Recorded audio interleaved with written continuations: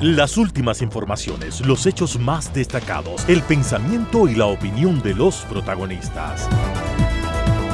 Opinión y noticia, el periodismo para todos es posible con la independencia y ética del comunicador.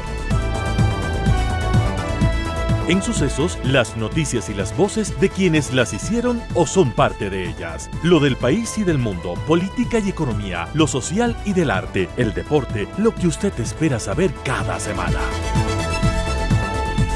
Opinión y noticia, porque interpretar y hacer entender lo que sucede es la razón de ser del periodismo. Con la conducción de Félix Narváez, empezamos.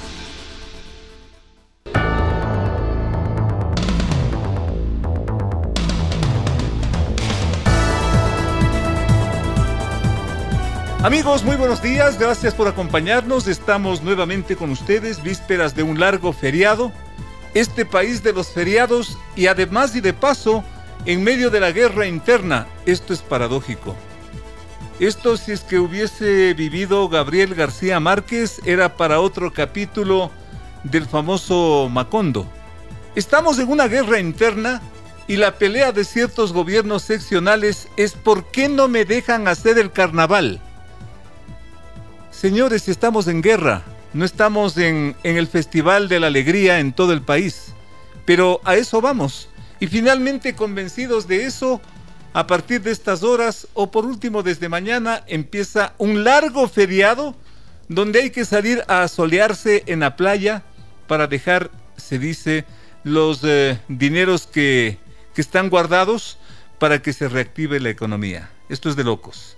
Pero en fin, de esto y más a partir de este momento porque han ocurrido cosas muy importantes relacionadas justamente con el financiamiento de la guerra interna, relacionadas con un conflicto que se torna de carácter impredecible, la relación Ecuador-Rusia. Ya vamos a escuchar a uno de nuestros eh, principales diplomáticos ecuatorianos en el, en el análisis de algo que me huele a ligereza del gobierno, para llegar a niveles acaso impredecibles. De esto y más, bienvenidos. Las noticias han impactado en el país, en el mundo y en la ciudad. Sus protagonistas están en sucesos para responder preguntas del periodismo profesional, que el público saque sus propias conclusiones.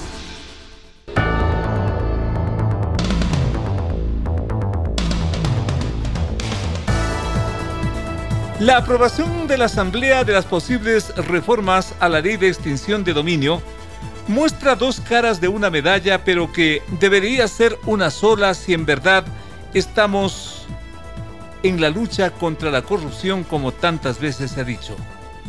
Asambleístas pletóricos de emociones que se aplauden y abrazan por haber aprobado ese tipo de reforma Mientras en el otro escenario, la Fiscalía, encabezada por la doctora Diana Salazar, manifiesta reparos, manifiesta hasta temores por lo que acaba de salir de la Asamblea respecto a la extinción del dominio.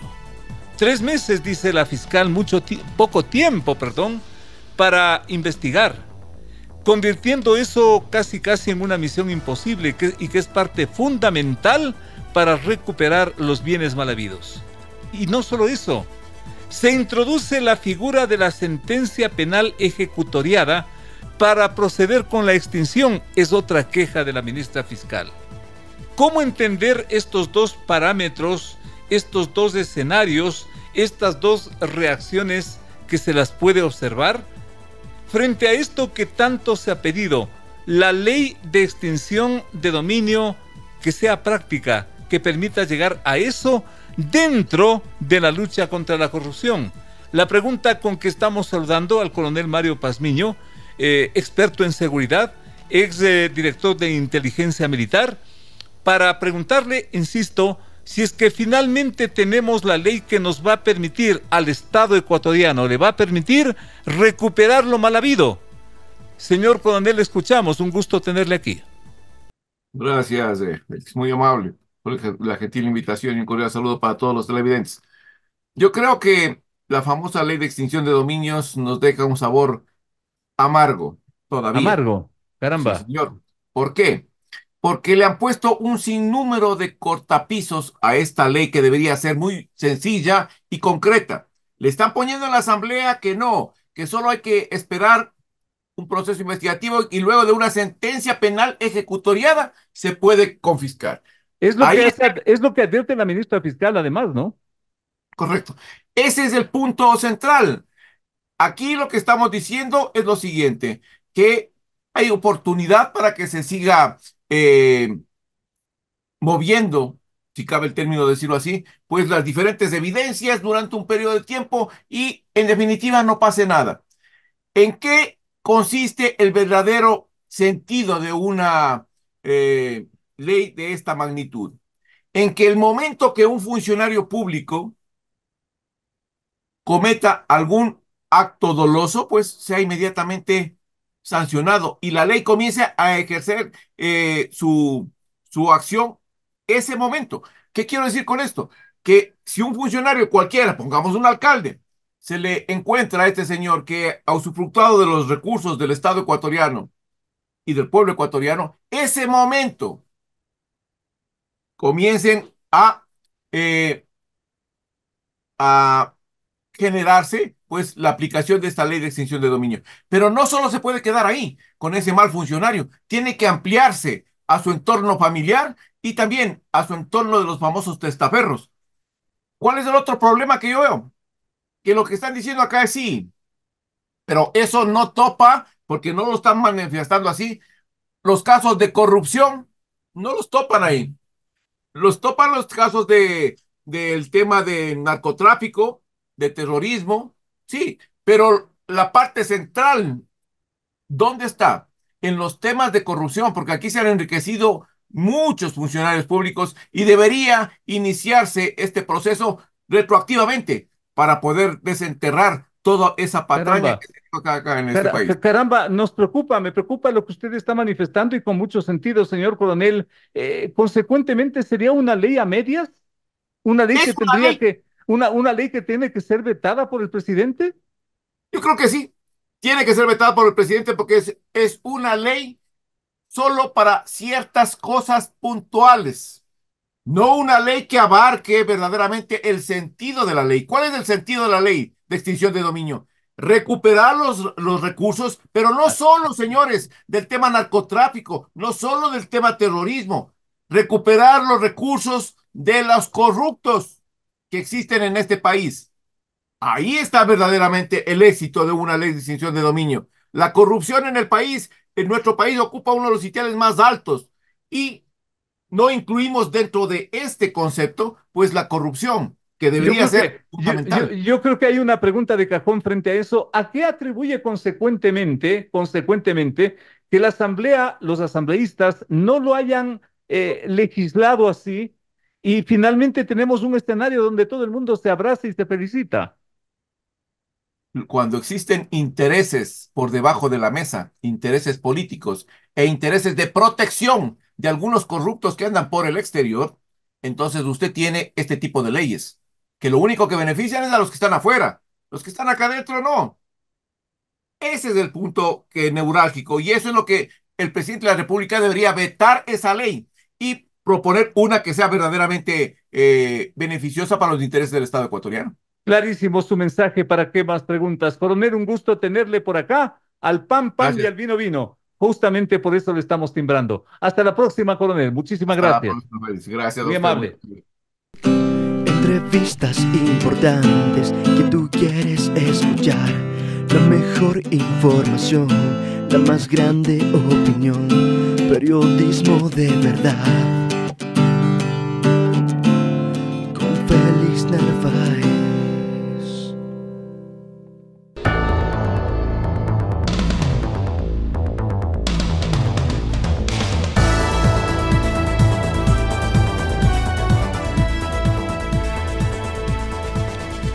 Un aumento del IVA y otras contribuciones provenientes inclusive de las ganancias empresariales, del sector de la banca y del impuesto a la salida de divisas sería la fórmula en camino y prácticamente casi casi vigente no solo, para pagar la guerra interna, sino eh, para otras necesidades que han ido apareciendo en el camino.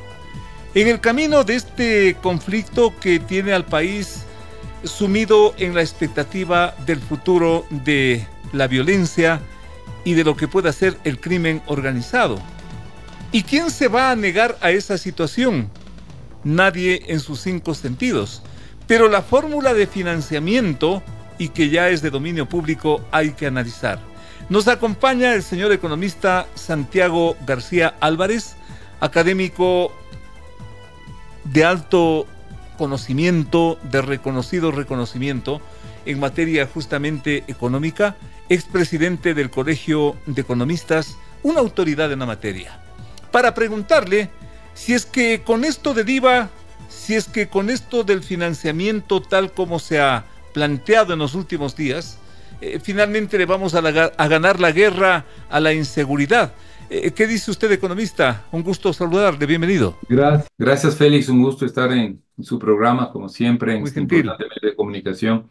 Bueno, yo creo que el país sí necesita de alguna manera financiar y enfrentar el déficit fiscal, porque si bien el gobierno nos ha dicho en primera instancia que todo lo que se recaude a través de esta ley que nosotros le hemos dicho de manera corta, la ley del IVA, tiene un nombre más largo, pero en definitiva son recursos que requiere el presupuesto nacional porque hay un déficit muy alto y se requiere incrementar gastos en seguridad. Entonces, yo creo que ese es el primer mensaje, lo que se está, ¿no es cierto?, estas posibilidades de financiamiento del IVA y tres impuestos adicionales, dos adicionales y incremento del, del ISD, me parece que va en esa línea, ¿no? Un poco generar ingresos para la caja fiscal y dentro de esa lógica también eh, financiar los gastos incrementales en... esto de apelar, esto de apelar al IVA fundamentalmente por el impacto que va a tener en toda la economía del país, ¿era lo más adecuado? ¿Es lo más adecuado, señor economista? Yo creo que hay dos medidas que uno puede darle cierta, ¿cómo decirlo?, cierta justificación, por ejemplo, el IVA y tanto el posible incremento del ISD, que sí fue aprobado por la Asamblea, pasar de 3,5 al 5% para el público ICD y el impuesto a salida de divisas, más el incremento posible del, del IVA al 13%, pues son ingresos fiscales permanentes, eh, Félix. Eso diferencia mucho de los otros dos en el sentido de que un 3.25 de, eh, de impuesto adicional o contribución temporal a las utilidades de las empresas, más del 5 al 25% una contribución temporal a bancos y cooperativas, en cambio son ingresos no permanentes. Yo le recuerdo, Félix, acabamos de pasar una, una, una deducción, un perdón de intereses, multas por el tema de los impuestos no pagados al SRI. Se dijo que se iba a recolectar 900 millones de dólares ya no hay esos 900 millones. Se está recolectando, pero, pero queda mucho dinero, o sea, no, no alcanza. Entonces, yo hago ese análisis primero económico en el sentido, si es que es el objetivo, recursos para el erario nacional, estas dos medidas van directo a eso, incrementar el ISD porque es un impuesto permanente, e incrementar el IVA al 13% porque es de ingreso permanente. El resto nos sigue faltando, Félix, como le digo ya. Ese, ese espacio que nos falta por llenar con, con recursos económicos es lo que se viene, yo diría, en el siguiente escenario. ¿Y qué tan alarmante es eso? ¿O tendremos que estar apelando permanentemente a este tipo de medidas, economista? Por eso es que en esa, en esa lógica no creo que debemos seguir apelando a estos impuestos temporales, a estas contribuciones. Me parece bien, ya se ha discutido este impuesto adicional a la banca y a las, y a las cooperativas de entre el 5 y el 25, dependiendo de la utilidad. Ya, número uno. Lo otro, hay que cargar, está diciendo el comité empresarial, son 5 mil empresas que deberían pagar una cuota adicional, una contribución temporal de 3.25 eh, como una cuota o una contribución por seguridad. Entonces, Félix, yo, yo lo que creo es que ese tipo de medidas ya está bien, pero son muy momentáneas, como la remisión tributaria que acabé de comentar. Hay que apuntar un poco hacia ingresos más permanentes como el IVA y esto. Ahora, si hay inconveniente, tanto el IVA como el ICD originan distorsiones. En economía no hay sándwich gratis, no hay, Es- eh, no hay es- almuerzo esa es la parte que también queremos Claro. que usted nos, nos ponga en sencillo para que el público lo entienda. ¿Cómo va a impactar estas medidas, por último, inevitables, en la economía, en el bolsillo del común de la gente? Entonces ahí ya entramos al posible impacto del incremento, un punto que parecería que es lo que se, finalmente tendremos vigente en el país. Entonces ese punto va a eh, significar un encarecimiento de ciertos productos, excepto 240 productos de la canasta básica, que es arroz, azúcar, café, eh, productos frescos, ningún producto fresco en el país, pescado, legumbres, nunca se paga IVA porque están con tarifa cero, pero seguramente le va a impactar a, a productos procesados, a la mayonesa, a la ketchup, eh, a la vestimenta, es decir, va a haber un impacto seguramente eh, que encarecerá el costo de la vida de los ecuatorianos. No es gratis subir el 1% para tener, eh, ya no será los 1.300 millones que dijo el señor Novoa, el presidente, cuando Exacto. hizo la primera propuesta, ya no serán menos, si es del 1%, 1%, del 12 al 13 es 1, y ese 1 generará unos 500, 600, 700 millones en el mejor de los casos anuales. ¿Es un valor despreciable? No, es un valor importante para poder aguantar los gastos incrementales y también para poner recursos para el déficit fiscal en lo que, en lo que alcance. Entonces, Félix, eso es lo que nos preocupa, un primer eh, golpe al incremento del costo de la vida. Pero hoy los economistas estamos haciendo un análisis en sentido de que la economía del país no está creciendo y tampoco el consumo. El consumo también está resintiéndose, está eh, desinflándose, porque las familias estamos sin li- liquidez. El último reporte de Asobanca y también del sistema financiero, vemos que el crédito a las familias va, va a una velocidad más lenta. Entonces, todos los que me escuchan así, sí, no, no tenemos recursos y hemos tenido que pedir un crédito y ahora ese crédito ya no lo tenemos, en fin. O Entonces, sea que con estas, posiblemente con estas medidas eso se va a complicar, doctor. se va a complicar, pero no va a dejar que los precios suban, en cambio. ¿Ya? Porque si yo soy textilero, soy de la industria de la confección, o si un producto químico, por ejemplo, para la- eh, un desinfectante, voy a tener que subir el precio y de pronto le ajusto un poquito más, pero como las familias estamos sin mayor liquidez, va a tener que nuevamente bajar. Entonces, va a haber un efecto combinado en un primer momento en el hecho, en el, en el, en la posibilidad de que se incremente el IVA, suba un poco los precios, pero enseguida me parece que van otra vez a ajustarse porque no estamos con capacidad de compra, estamos, digo, sin liquidez, las familias. Eh, el último dato para argumentar esto, Félix, de algún rato para conversar con más detenimiento, pero entre el 2012 y el 2023, habemos 3 millones de personas con empleo adecuado, con las garantías, con el decimotercero, el cuarto, en fin, el empleo adecuado. 3 millones hace 10 años y ahora somos 3 millones. O sea, en 10 años esta economía no ha sido capaz de crear empleo. Qué buena comparación. ¿Cómo no? Entonces, ese dato lo tenemos, lo, lo estamos ya publicando en redes sociales en mi calidad de académico, profesor de la Universidad Central. Y también aparece lo otro, que entre el 2012 y el 2023 se incrementaron 2 millones de personas en el trabajo precario. ¿Y qué es el trabajo precario? Soy subempleado, otro empleo no adecuado o trabajo no remunerado. Hay mucha gente, cerca de 800 mil ecuatorianos que no tienen un trabajo, eh, un ingreso Eh, remunerado, Doctor, soy ayudante, en fin. de acuerdo, le insisto en la inquietud y con todo respeto por el tema del tiempo. eh, si es que esto, por lo visto, no va a ser suficiente, no va a ser suficiente, ¿qué hay que hacer en el inmediato para no seguir, insisto, apelando a este tipo de medidas que ya van a tener los efectos que usted está mencionando? ¿Qué hacer? Cortito, doctor, el tiempo es Pues, nuestro sí. peor enemigo. Muy bien, pero bueno, lo importante es informar a la comunidad. Por favor. Yo creo que el gobierno no debe presentarnos un paquetazo. Yo, yo sí quiero ser ahí directo, frontal.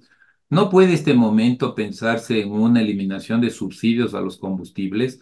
En principio, todos entendemos que hay un subsidio, ¿no? Y no es lo más justo. Si yo tengo ¿Ya? como clase media y recibo un subsidio a la gasolina, en parte al diésel, puede ser. Entonces no es justo porque posiblemente se podría pagar un precio más cercano al mercado.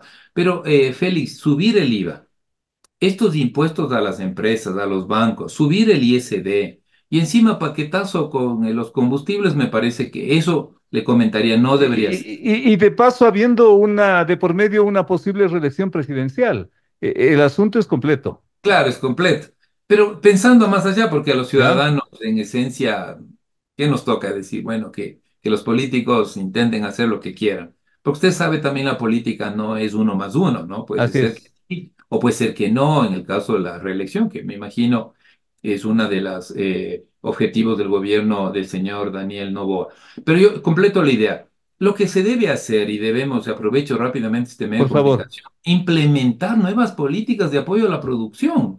O sea, no toda la vida se acaba en el gasto fiscal, en el IVA, el impuesto. Bueno, señores, Uno, ¿dónde está el ¿ya? plan productivo, por ejemplo, para la Uno, pequeña dos. empresa? Dos, por favor, capitalicemos la banca pública. Doy el dato, 5 dólares de cada 100 dólares que se presta en el Ecuador lo da la banca pública. Es marginal, o sea, de cada 100 eh, Totalmente. lo da la banca, lo da las cooperativas, lo da el BIES, y 5 dolaritos de 100 lo da la banca pública. Entonces, por favor, ¿qué. No necesita la asamblea, necesita un gobierno bien puesto que diga, sí, señor, voy a trabajar con la banca pública porque voy a atender a los sectores más olvidados, la pyme, la micro, la economía popular y solidaria. Eso, por ejemplo, sí vamos a tener que reclamar. Otra medida, otra medida. Otra, otra medida me parece que hay que implementar una agenda, pero urgente, para reducir la brecha de acceso digital. Porque usted, Félix, hoy mismo estamos conectados por el Internet. ¿eh? Esta Por favor. entrevista, ¿no es cierto? Estamos en medio electrónico y luego la difusión será medios electrónicos. Pero una brecha tremenda. Hay que invertir en Internet para la microempresa, para la empresa, para la educación. Y- Pero, pero, ¿y qué ganamos con importantes. ¿Qué ganamos con eso? Por ejemplo, en materia de digitalización, sabemos que Ecuador está rezagado, los- las empresas, las pequeñas Ya. empresas, las medianas empresas, en digitalizar procesos para ser más eficientes, para hacer las cosas mejor. Ecuador tiene serios problemas de acceso a la educación virtual. Hemos Ya. pasado eh, este cierre de colegios y escuelas por la violencia. Y uno ve los, los resultados o ve las características. Muchos chicos y jóvenes no acceden porque en el barrio no hay internet. Se está negociando, negociemos bien el espacio, eh, ¿no es cierto?, eh, electromagnético que está ya en marcha. Está retrasado ese proceso con las, telecom- las empresas de telecomunicación. Hagámoslo bien, hagámoslo pensando en el país, sin politiquería. Por ejemplo, eso, Félix, está ahí porque fue eh, justo el año anterior, el 2023, ya venció el primer plazo de, me parece que fue el 2000, eh, 2008, 2009, esa negociación. Entonces ahora hay que volver a negociar y yo no me voy a hacer política barata, porque ahí viene, no, es que le vamos a pedir más acuerdo, millones. Sí, hay que acuerdo. pedir los millones que sea, pero negociemos, por ejemplo, coberturas, cobertura en la Amazonía del Internet, cobertura en la costa ecuatoriana, cobertura en las Islas Galápagos. Entonces, sí creo que hay cuatro o cinco cosas, Félix, que De hay que empezar a, a decir al gobierno nacional. Es su responsabilidad, no solo del gobierno y no solo ya. Nos tiene entretenido que la asamblea, que no sé qué, que el IVA y que el otro impuesto. A ver, señor, ¿y esta política productiva, dónde la encontramos? Perfecto, perfecto. Doctor, muchísimas gracias. Muy claro su mensaje, muy claro su análisis. Doctor eh, Santiago García. Hasta la próxima, doctor. Muy amable, muy gentil. Gracias, Félix, siempre un gusto y muchas gracias por la invitación. Muchísimas gracias a nuestro invitado, el economista Santiago García, expresidente del Colegio de Economistas.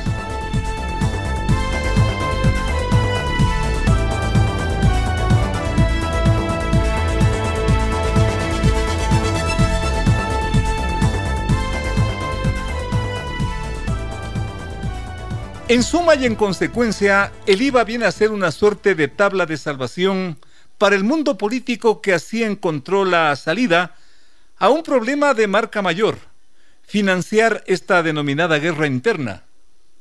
Un financiamiento que, a través de los días, se ha ido quedando corto porque van surgiendo una cantidad impresionante de necesidades por cubrir que solo lo del IVA no queda, como dicen los chicos y los jóvenes, ni para la muela. El resto tiene que venir de alguna parte. Y ahí yo me pregunto, ¿por qué la legislatura en estos días no ha dicho nada de tantas cosas pendientes y por qué consecuentemente se apela a esto que viene a ser el camino más fácil, el IVA, que viene a ser el camino más fácil de sacarle dinero al sector productivo que finalmente y al final del día, finalmente y al final del día viene a ser así, eh, pues simplemente reajusta los precios. ¿Y qué significa eso? ¿Qué significa eso? Un alto costo de la vida. Ya lo vamos a ver en los próximos días. Nuestro colega Rafael Cuesta, de nuestro fraterno canal 24-7, hizo justamente este análisis a propósito de lo que significa el financiamiento de la guerra interna. Durante 50 años he escuchado a los políticos despotricar contra los banqueros. Sin embargo, cuando se acercan las elecciones, todos van donde esos banqueros a pedirles plata para sus campañas. Y cuando ganan, se olvidan de la ayuda recibida. Esta especie de relación odio-amor entre banqueros y políticos se rompió en el 2021 y el odio se intensificó cuando un banquero les ganó las elecciones a unos y traicionó a los otros. Esos mismos grupos políticos golpeados hoy se juntan en la asamblea con propuestas inconstitucionales e ilegales, sin importarles un bledo el país ni el riesgo que representa para los depositantes. Los asambleístas saben que no pueden proponer la creación de ningún tributo, impuesto, tasa o contribución especial. Eso es facultad exclusiva del presidente de la República. No obstante, reforman el proyecto enviado por Daniel Novoa y aparte del incremento del IVA al 15% que golpea muy fuerte a los más pobres, proponen otros impuestos. Quieren una contribución especial de las grandes empresas. Se trata de un impuesto adicional por lo que ganaron el año 2022. Absurdo. Las empresas realizaron sus actividades el 2022 de acuerdo con las leyes y reglamentos vigentes de ese año. Y de acuerdo con esas reglas del juego pagaron sus impuestos y contribuciones. No puede el Estado, dos años después, pedirles que paguen un aporte adicional por ese periodo. No cabe la retroactividad confiscatoria de dineros que ya fueron utilizados, invertidos o gastados. Estos genios de la Comisión Económica también quieren una contribución especial de los bancos y cooperativas de ahorro que hayan tenido utilidades superiores a 10 millones de dólares. Asimismo, del año 2022 y 2023. El impuesto adicional iría desde el 5% hasta el 25%.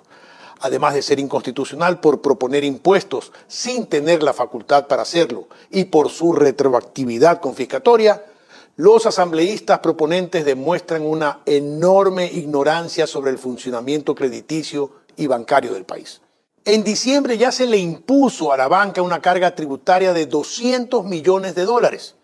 Con la nueva contribución serían 400 millones adicionales. ¿Hasta dónde creen los asambleístas que pueden estirar la sábana? Son 600 millones de dólares que saldrán de la economía privada para que los utilice el Estado como le dé la gana. Esos 600 millones podrían convertirse en 6 mil millones en créditos para el sector productivo, que dejará de invertir por falta de préstamos o por tasas de interés que seguramente serán más altas.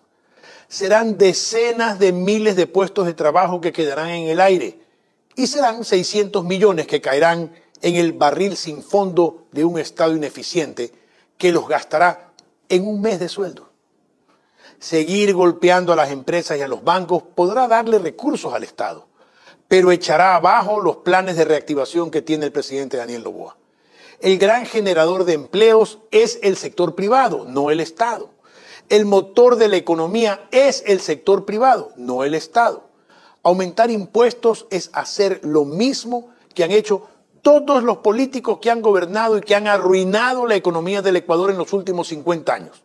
En esta ocasión, el resultado no va a ser diferente. Los ricos seguirán siendo ricos, los pobres seguirán siendo pobres y el Estado panzón y vago seguirá gastando y robando nuestro dinero. De 8 a 9, con el periodista Félix Narváez, otro aporte de Radio Sucesos a la opinión libre y enterada del oyente.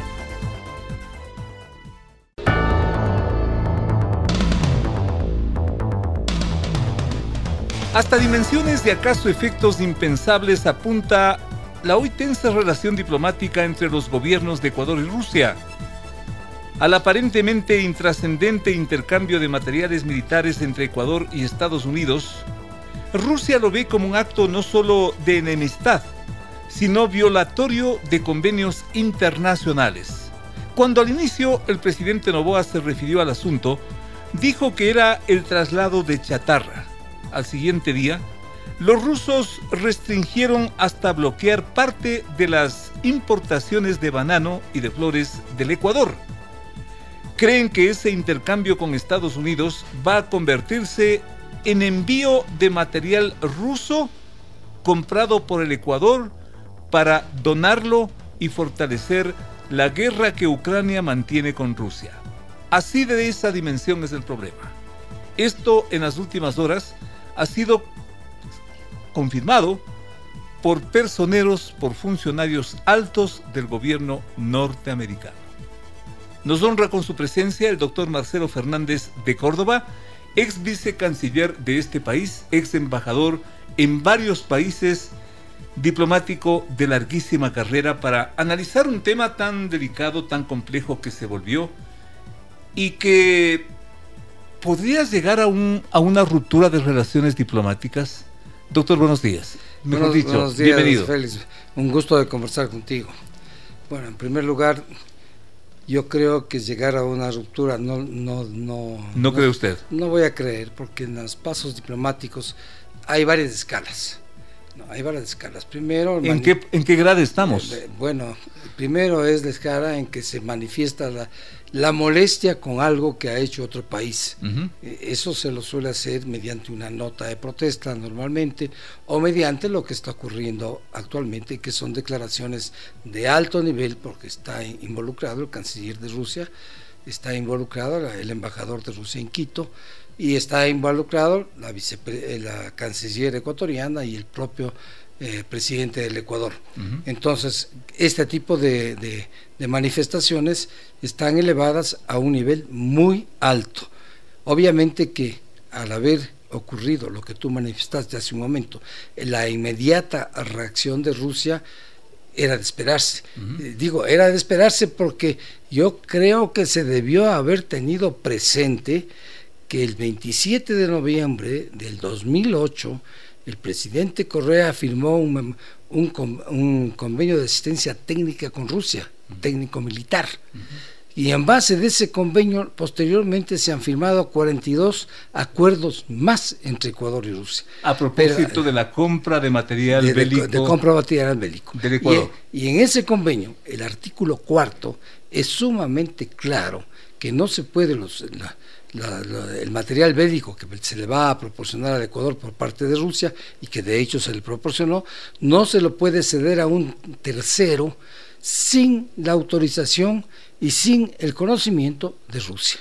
Por más que queramos decir que eso es chatarra, que pienso que no es chatarra, porque mirando un poco las estadísticas, en, Suecia hay una publicación muy interesante eh, relacionada con la paz, un instituto para la paz en Grecia que, que analiza las compras bélicas prácticamente de todo el mundo. Entonces no hay como ocultar lo que se compra porque los suecos saben qué es lo que hemos comprado. Y además es público. Es público. Eh, entonces, en, este, en, estas, en esta publicación sueca está muy claro que hemos comprado helicópteros, hemos comprado cohetería tierra-aire y algunos otros tipos de cosas. Es decir, si es... Que le sirve mucho a Ucrania. Que puede servir a Ucrania o a quien lo tenga. No creo, no creo que el material entregado posteriormente al 2008 porque en noviembre se firma este, este acuerdo de, cooperación mm, eh, militar con el Ecuador y Rusia. Los equipos de estos son comprados en el 2009, 2010 posible, posiblemente. No creo que estén ya tan obsoletos que para decirlos que son chatarra. No creo, para una guerra convencional pueden servir y de hecho deben estar. No, no hemos tenido un enfrentamiento militar nosotros de, a partir del año 95 que tuvimos nuestra diferencia en la práctica, En la práctica, doctor, por lo visto, ¿una ligereza en el concepto nos está metiendo en este problema? Bueno, verá, hay que pensar en algo. Si usted me está preguntando algo, yo, yo le voy a decir qué es lo que se pensaría un diplomático de carrera. Por favor. ¿no? En, en, en realidad, este tipo de cosas implican las relaciones internacionales son sumamente delicadas. A veces hay que interpretar gestos y un lenguaje diplomático no escrito, que entonces obviamente las personas que han practicado la diplomacia durante muchísimos años entienden lo que estoy diciendo. ¿Qué es lo que, qué es lo que debió haber ocurrido para esto? Obviamente, si vamos a, a ceder material bélico a los Estados Unidos, se debió haber pensado qué implicaciones tenía ese material por su origen, que era ruso. Entonces, obviamente a los rusos no les va a gustar que su material vaya a los Estados Unidos y que pueda ser desviado a un tercer país y parecería que es claro que la intención de, enviarlo a Ucrania. Y sobre todo habiendo un convenio y un compromiso de por hay, medio. Hay un convenio muy claro, eh, vuelvo a decir, este convenio suscrito el, 27 de, de, noviembre del año 2008 entre Ecuador y Rusia, que establece en su artículo cuarto las obligaciones de no ceder a nadie, a un tercero, como venta, como préstamo, como lo que sea, el material que se estaba involucrado dentro de este convenio y así fue acordado con Rusia. y esa parte, esa parte que hay, algunos dicen, no, lo que pasa y esta cuestión del año 2008 ya no está vigente, no al, haberse firmado un convenio, al haberse mantenido las, las, normas del convenio y particularmente en el caso este, lo normal es que mientras esta, este material esté hábil para, lo, para, el utilizable. Fin, utilizable, pues eso, eso, eso, eso ocurre, ¿no? Además, no hemos conocido que el Ecuador haya denunciado ese convenio, por otro lado. La reacción rusa de limitar, por decir algo, las importaciones de banano y también de claveles concretamente eh, del Ecuador, eh, ¿entendible? Bueno, sí, entendible para manifestar el, el, disgusto que tiene por este acto del Ecuador, el desagrado que tiene porque naturalmente el Ecuador, el presidente dice que anunció que se iba a proceder a, a este, a esta entrega de material, y que a cambio íbamos a recibir 200 millones de material absolutamente nuevo por parte de los Estados Unidos. Si hay una valoración de 200 millones, es que eso sí valía, valía, valía algo por lo menos, ¿no? Y que eso, se seguía de acuerdo con la expresión del presidente, eso se lo va a hacer sin mirar. Pero esto de las importaciones Ahora, hay que, impacta en otro nivel, ¿no? Esto de las importaciones es grave, es grave porque, hay que, porque hay que pensar el banano, las flores, que son los que están involucrados de, momento, dan muchísimo trabajo a los ecuatorianos. E ingresos, e divisas. Del banano, cálculos que han hecho más o menos, esta disminución de, prácticamente del 25%, me parece que es, de, por parte de Rusia que van a limitar, eso no significa 700 millones, son cálculos que se han hecho en un año. Y eso no es poca cosa. En, la situación que estamos actualmente. Entonces yo creo que deberían de alguna manera buscar, ¿no? Una, una solución al problema, porque obviamente... Eh, eh, doctor, se me está adelantando a la pregunta que necesariamente a manera de conclusión tengo que hacerle. Un diplomático de tanto conocimiento como usted, ¿qué recomendaría? Bueno, entrar realmente en una, en una conversación franca, primeramente con, con Rusia, explicando nuestras necesidades y obviamente Rusia no va a ceder porque ese material bélico, si va a ser destinado a Ucrania, va a ser utilizado contra Rusia. Contra Rusia. Eso hay que mirar. Y por otro lado, hay que, hay que mirar con los Estados Unidos a ver cómo arreglan este envío de material para la policía, y el ejército por 200 millones, que sí nos hacen falta. Entonces se ha metido en un callejón que... ¿Dar marcha atrás? dar marcha atrás en el convenio con Estados Unidos? Es grave. Grave. Porque necesitamos, y es grave, dejarle a Rusia eh, disgustada y, y, aplicándonos sanciones. Es decir, estamos en, una situación que no tiene, aparentemente no hay salida.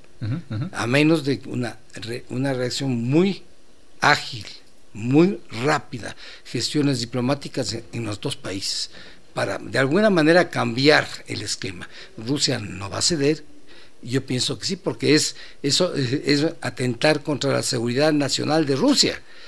Y, en eso no perdonan. Con una cosa anecdótica, porque si es que este material militar que compró Ecuador le traslada a los Estados Unidos y Estados Unidos le, le da a un país enemigo de Rusia, claro. armas rusas atacándole a la propia Rusia. anecdótico, doctor. Doctor, muchísimas gracias. Gracias al doctor Marcelo Fernández de Córdoba. Miren ustedes cómo realmente son las cosas y vistas desde la óptica de un diplomático de tanta trayectoria como nuestro invitado de hoy. Ya volvemos con más.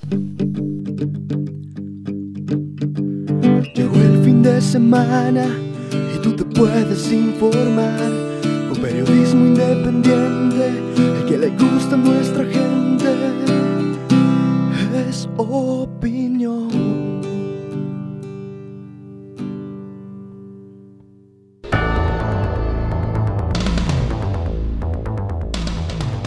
La legalización de la eutanasia marca un hecho histórico sin precedentes en el Ecuador. Lo acaba de aprobar la Corte Constitucional tras una larga batalla y muchas expectativas que se han dado en torno a esto. Se crea consecuentemente el derecho de un enfermo terminal a una muerte digna, asistida por un médico. En palabras sencillas, eso es. Pero ¿qué involucra toda esta situación? ¿Cómo hay que entenderla? ¿Por qué esta larga lucha? ¿Por qué se ha demorado quizás tanto tiempo? Otros dirán que esto no debió haberse aprobado. En fin, todavía puede subsistir la polémica, pero la eutanasia finalmente está permitida en el Ecuador. Nuestro contacto con el doctor Salim Saidam, constitucionalista, maestro universitario justamente en esta materia constitucional, eh, y muy oportuna, digamos, su presencia, porque un aspecto fundamental que toca esta autorización de la Corte Constitucional es nada más ni nada menos que la muerte y la vida, el derecho a la vida. Doctor, muchísimas gracias, un gusto tenerle por acá. ¿Cómo entender esta decisión? ¿Cómo entender esta resolución que para muchos es un avance y para pocos un retroceso? ¿Usted qué dice desde el punto de vista constitucional? Doctor, un gusto, un, saludo cordial. Un buen día, estimado Félix. Gracias por la invitación. Un saludo también a todos los oyentes de Radio Sucesos. Eh, efectivamente, yo veo como un progreso el que se haya reconocido la posibilidad de aplicar la eutanasia en caso de que un paciente que tenga que enfrentar pues, eh, sufrimientos intensos decida interrumpir su vida justamente expresando su consentimiento libre e informado, lo que se conoce eh, como la famosa muerte digna, ¿no? Así como tenemos el derecho a vivir dignamente, tenemos el derecho a morir dignamente, planteaba la demanda de, de Paola Roldán, representada por sus tres abogados, eh, los colegas eh, Pablo Encalada, Ramiro Ávila y Faitzim. El, el fallo de la Corte Constitucional, sin embargo, me parece que eh, tiene algunos errores. Caramba. A ver. Eh, miren, eh, algunos errores y algunos aciertos. Comencemos por los aciertos. Comencemos por los aciertos. Yo creo que lo primero, estimado Félix, es em, mencionarle a la ciudadanía que hay algunos párrafos, los iniciales, a partir del párrafo 43, me parece, de la, de la sentencia, se explican de manera didáctica los eh, dentro de las consideraciones previas algunos conceptos importantes. Por ejemplo, se diferencia entre eutanasia activa y eutanasia pasiva. Así dice. La eutanasia activa sería la acción de interrumpir la vida, mientras que la eutanasia eh, pasiva sería una omisión, ¿no? de proporcionar tratamiento a una persona que lo requiere. En todo caso, eh, técnicamente se, se, explica eso. Obviamente aquí se se hace una remisión inclusive a la ley de derechos y amparo del paciente para explicar de manera didáctica estos dos conceptos. y, lo que aclara la Corte es que la eutanasia pasiva ya estaba vigente en el ordenamiento jurídico y lo que se incorpora al ordenamiento jurídico es la eutanasia activa. ¿Sí? Otra cuestión también importante es mencionar que em, la Corte Constitucional ha recordado que la ley de derechos y amparo del paciente eh, ya regula la eutanasia pasiva y lo que ahora ha hecho la Corte es incorporar la eutanasia activa en el Código Orgánico Integral Penal. Si usted revisa, Félix, el artículo 144 del Código Orgánico Integral Penal, usted se va a encontrar con un tipo penal, con un delito, que es el homicidio simple. Una persona mata a otra. Esa es la descripción sencilla que hace el, el legislador con respecto al homicidio simple. Sin ninguna excepción, se castigaba a toda persona que mate a otra. ¿Qué es lo que proponían los abogados que representaban a Paola Roldán en el proceso ante la Corte Constitucional? Que se incorpora una excepción de punibilidad. Es decir, que no se sancione al médico que mate a un paciente eh, por pedido suyo, por consentimiento suyo, para morir dignamente. Eso en definitiva es lo que ha hecho eh, la Corte Constitucional, ¿no? Aclarar entonces en términos generales que lo que se ha incorporado en el ordenamiento es la eutanasia eh, activa. Eso, digamos, el acierto. ¿Y, lo, ¿Y el otro lado de la medalla, doctor? Claro, ahí vienen los, los errores de la sentencia. Primero, se enfocan mucho en explicar la antijuridicidad, ¿no? La antijuridicidad. El problema no es de antijuridicidad, el problema es de eh, punibilidad. ¿A qué me refiero con punibilidad? Para que nos comprendan quienes nos están escuchando a través de la radio. Em, me refiero a que no sea objeto de pena quien incurra en la conducta descrita en el delito del 144 del Código Orgánico Integral Penal. ¿Qué quiere decir esto?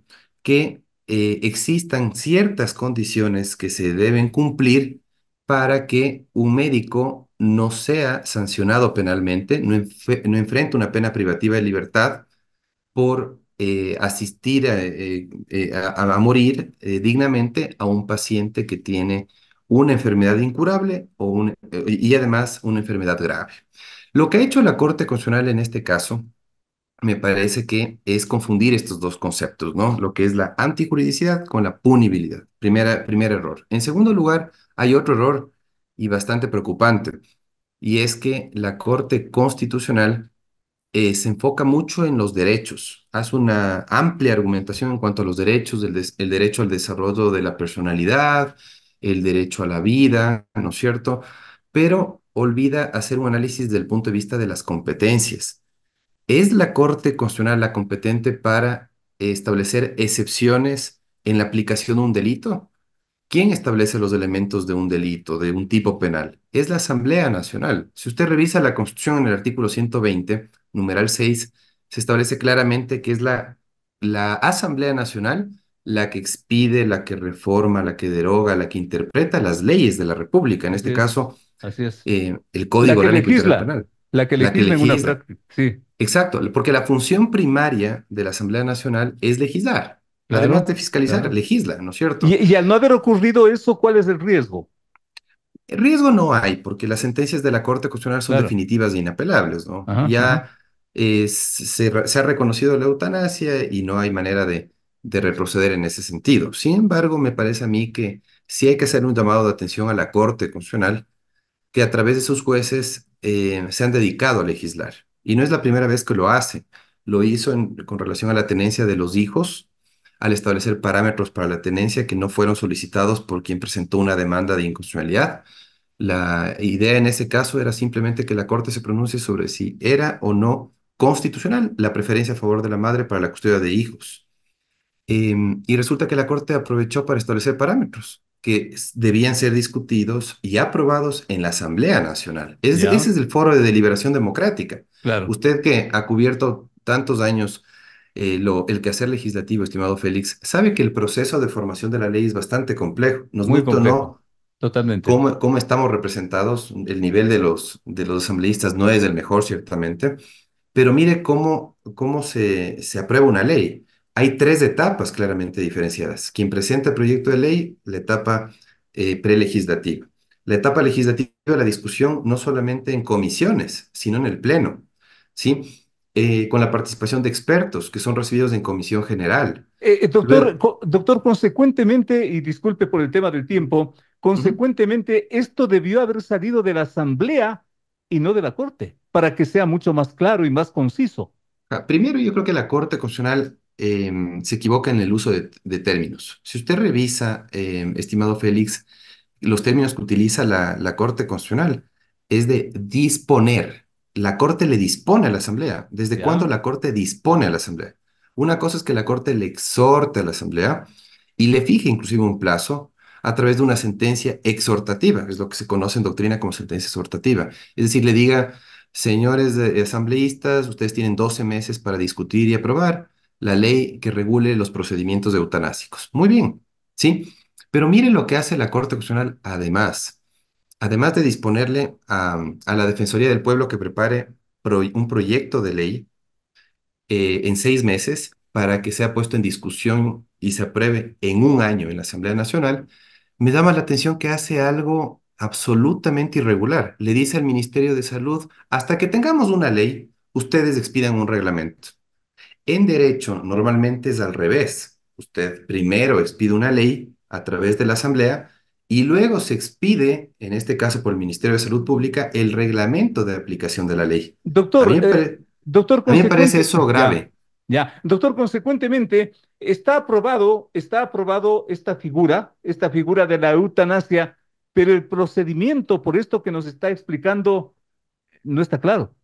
Claro, es que, ¿sabe qué, eh, cuál es el problema, estimado Félix? Que el párrafo 104 y 108 em, reiteran que la, la sentencia tendrá efectos inmediatos, pero agrega la Corte, sin perjuicio de aquello, el Ministerio de Salud expedirá un reglamento que regirá hasta que sea expedida la ley. ¿Cuál es el problema de esto, estimado Félix? Ya desde el punto de vista médico y práctico, ¿no? ¿Qué es la eutanasia? Es un acto médico, ¿no es cierto? De acuerdo, claro. Que debe ser regulado cuidadosamente. Yo, por ejemplo, le, soy muy sincero, yo soy partidario de la eutanasia, pero de la eutanasia bien regulada. No, es, no regulada a la ligera, como en este caso lo hace la Corte Constitucional, que dice que declara la constitucionalidad condicionada del artículo 144 del COIP, alertando que este artículo del homicidio simple del Código Orgánico Integral Penal será constitucional siempre y cuando, y ahí establece las condiciones, ¿no? El médico que ejecute esta conducta, ¿sí?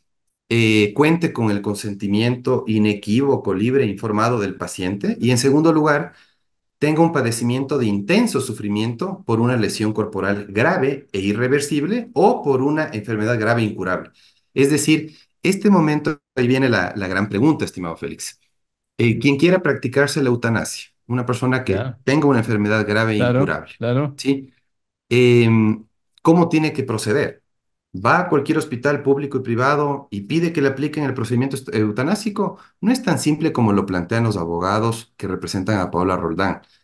Eh, le, voy a poner un ejemplo.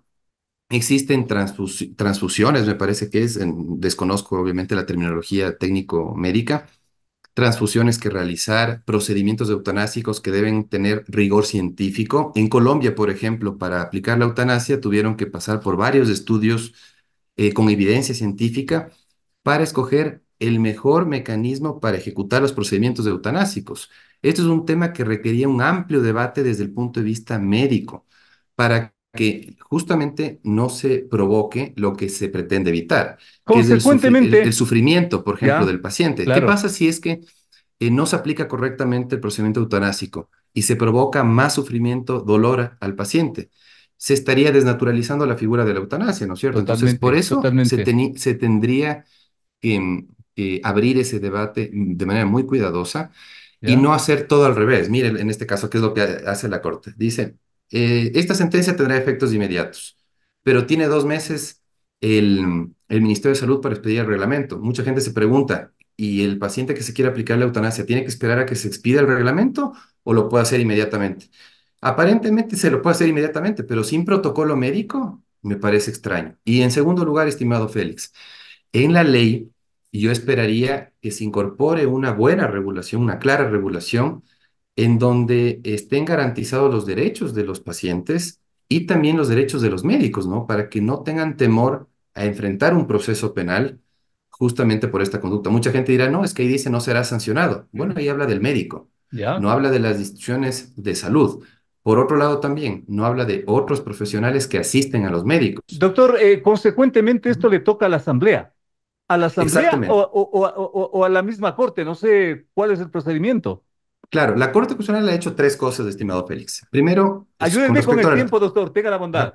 Con respecto al artículo 144 del Código Orgánico Integral Penal, ha dicho que este artículo queda tal y como está pero hay que tomar en cuenta una interpretación que ha hecho la Corte en donde dice no será castigado, no será sancionado penalmente el médico si es que cuenta con dos condiciones, el consentimiento del paciente y se trata de una enfermedad grave e incurable, concurrentes de estas dos condiciones. Y además puede ser también por una lesión corporal grave e irreversible.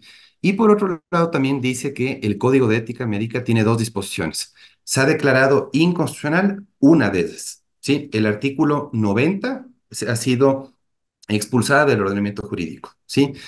Eh, y eh, por otro lado, el Código de Ética Médica contemplaba un artículo 6 que regulaba em, que el médico o establecía que el médico está llamado a atender a un enfermo y se hace responsable de proporcionarle todos los cuidados médicos necesarios para que recupere su salud. Ahí dice, su responsabilidad mayor será la conservación de la vida, salvo ciertos casos. Y ahí introduce justamente excepciones para que no sea castigado el médico. Entonces, el médico eh, eh, que este momento quiera eh, aplicar la eutanasia a un paciente por su pedido, va a querer estar debidamente resguardado, ¿no es cierto? Va a querer tener la seguridad de no enfrentar un proceso penal. Em, y esto no es tan simple con señalar no será sancionado el médico, sino que se requiere una regulación eh, estricta con respecto a cómo se brinda el consentimiento, cómo se verifica que sea libre, informado, inequívoco, y además cómo se llega a determinar, de acuerdo a los, a los parámetros médicos, que una enfermedad es grave y además incurable. Em, esta es la terminología que utiliza la, sentencia. Y por otro lado, también lo que usted decía, eh, Félix, es importante, ¿no?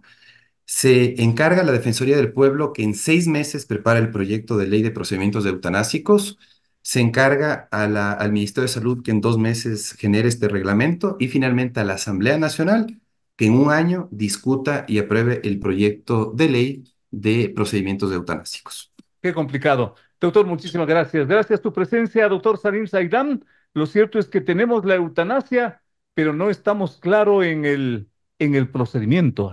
Ha sido muy amplio en su explicación. Doctor, hasta la próxima. Muy amable. Muchísimas gracias por la invitación, estimado Félix. Gracias, doctor.